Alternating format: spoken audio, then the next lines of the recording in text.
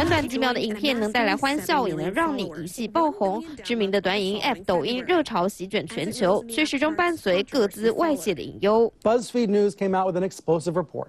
Saying that according to leaked internal TikTok meetings, uh, there are engineers in China that have been able to repeatedly access U.S. user data. 明明六月才挂保证，所有美国用户的数据都存在美国的伺服器，现在却被爆料中国工程师能够自由进出观看数据，而 TikTok 也去函承认，但强调都有受到美国安全团队的监督和授权，未来将确保工程师能在美国平台作业，但不能把数据带走。Tool are they beholden to China? China, and is that a threat to the U.S.?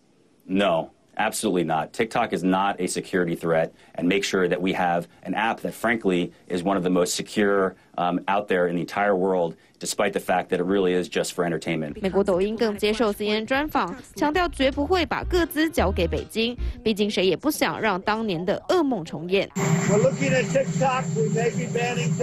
川普当年就以国安为由，企图封杀抖音。虽然大多人可能会觉得根本是借题发挥，但专家可不这么认为。 Issue isn't whether right now TikTok is feeding information to the Chinese government.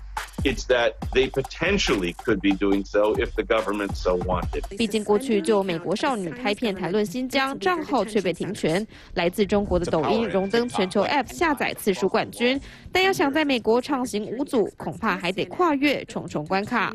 三立新闻双报道。